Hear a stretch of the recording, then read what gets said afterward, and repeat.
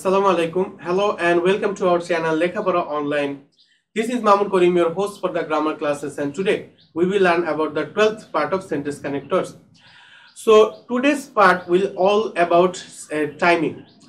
Whenever we have a conversation or while we are talking about something, sometimes we have to mention the duration of time, right? Like I'm talking about some task.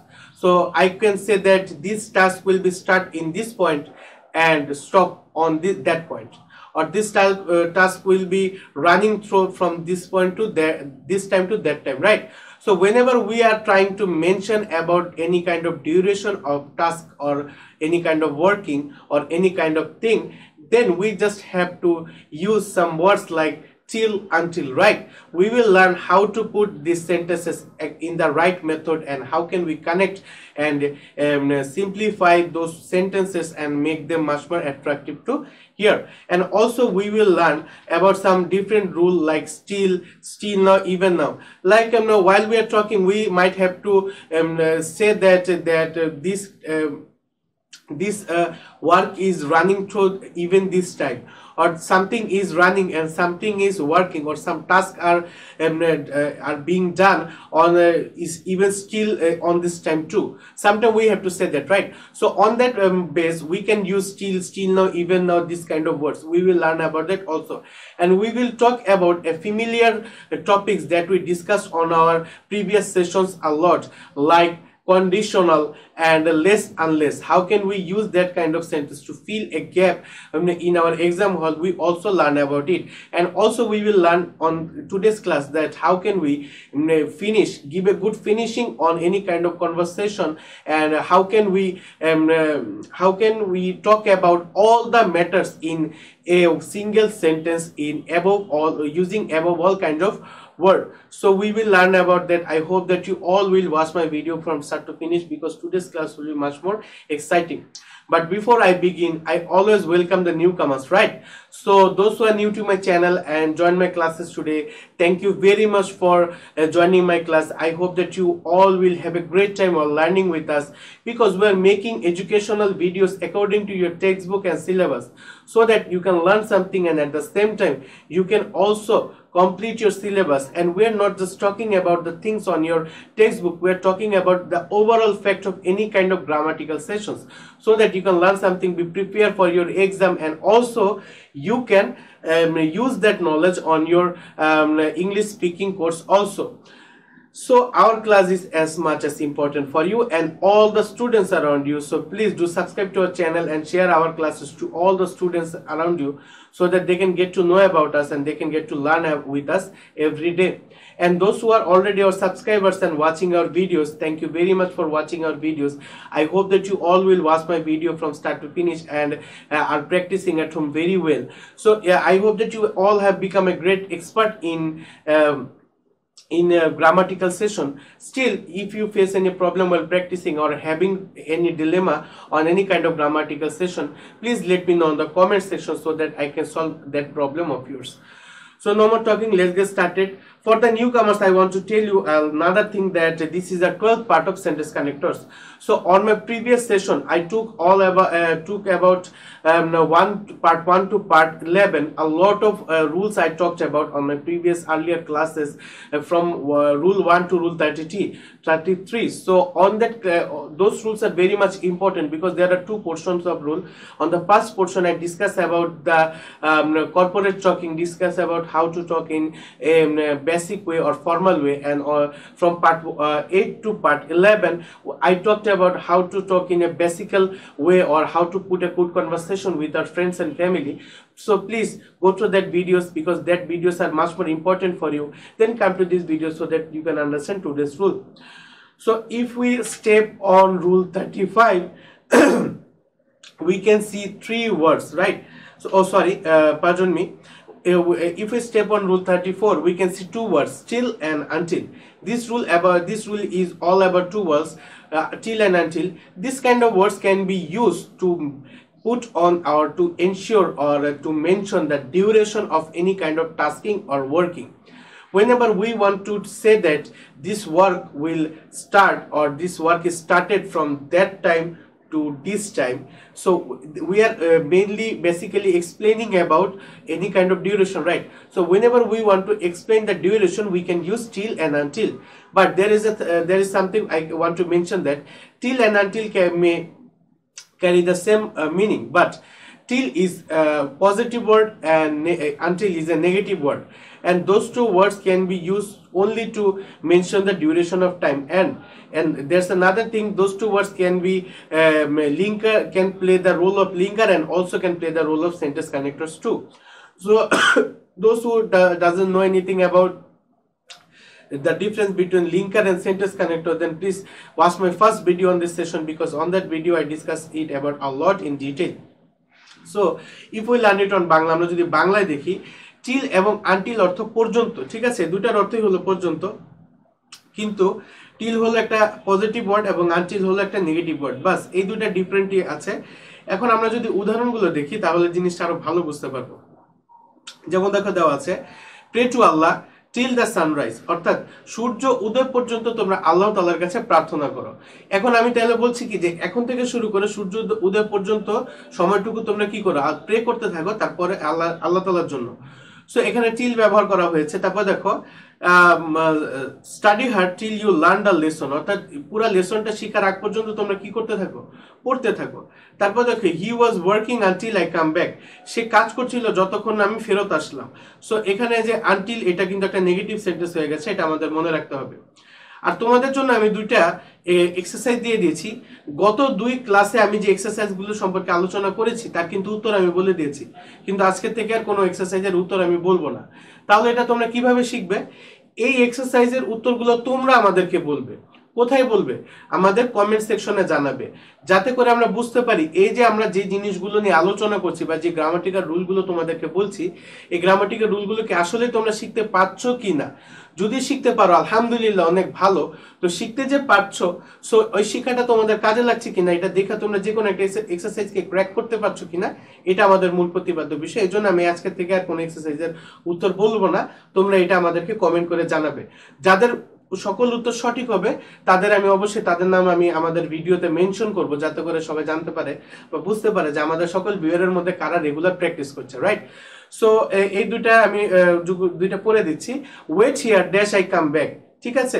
তারপরে we started dash the teacher left so এই দুইটা তোমাদের জন্য রইল, তোমরা এই দুইটা করবা।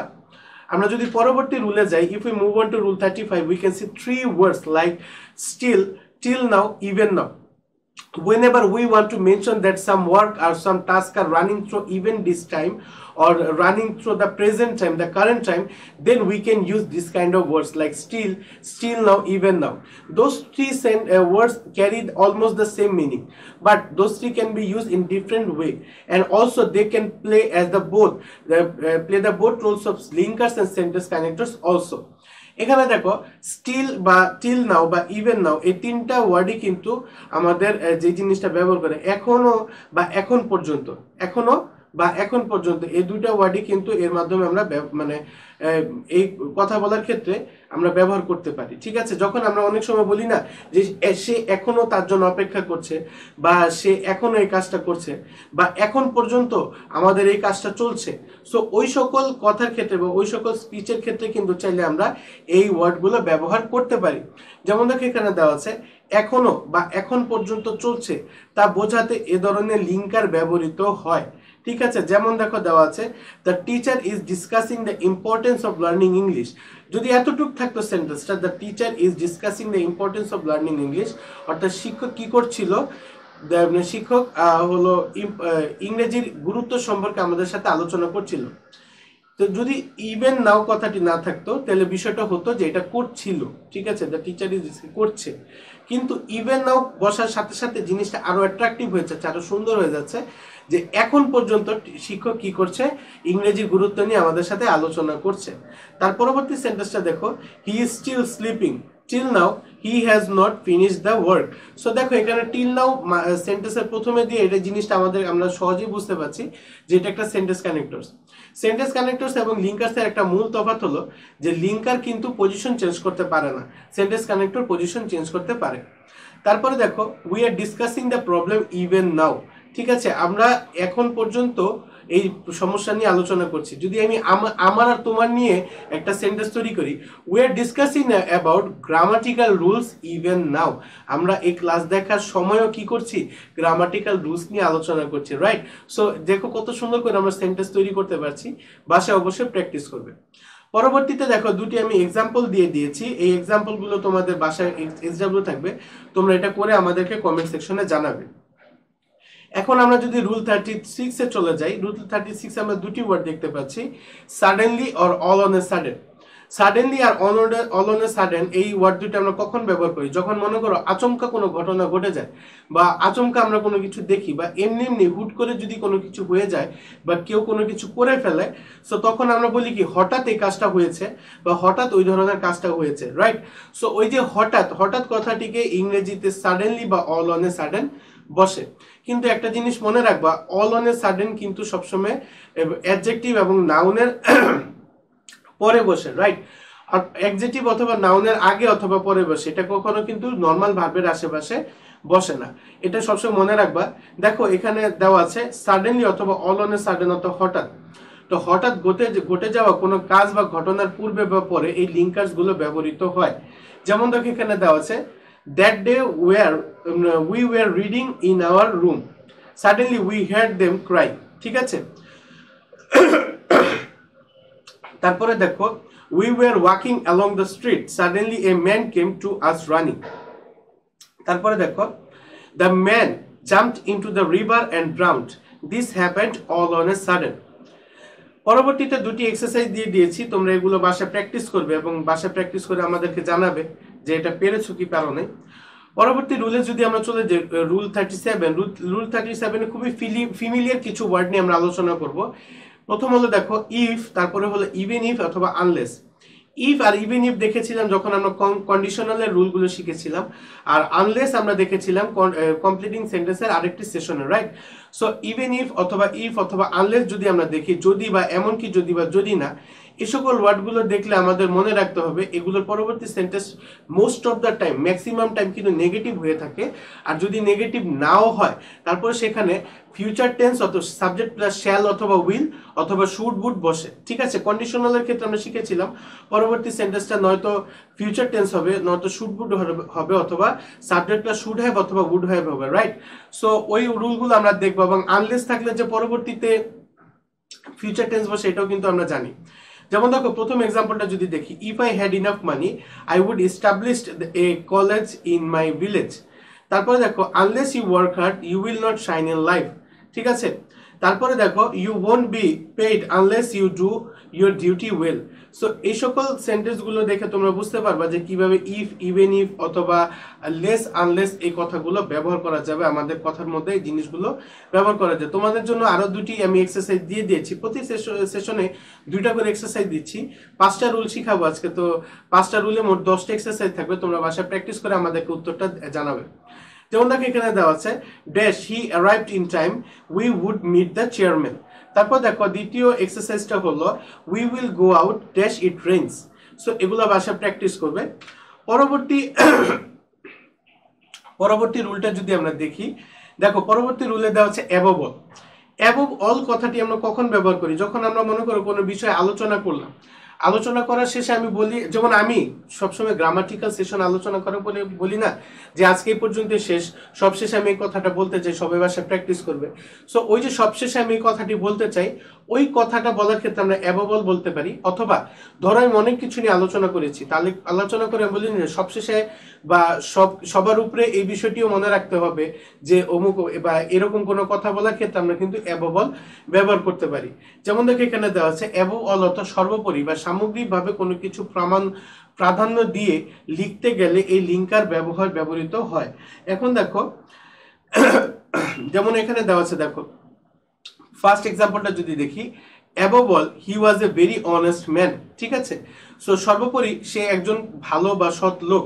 তারপরে দেখো there was a remarkable turn out in the last preliminary uh, uh, last election above all the election as a celebration so এই ওয়ার্ডগুলো বা এই যে সেন্টেন্সগুলো আছে সেন্টেন্সগুলো আশা করি তোমরা বাসায় প্র্যাকটিস করবে এবং দুইটা এক্সারসাইজ দিয়ে দিয়েছি, তোমরা বাসায় প্র্যাকটিস করে অ্যান্সারগুলো আমাদেরকে জানাবে।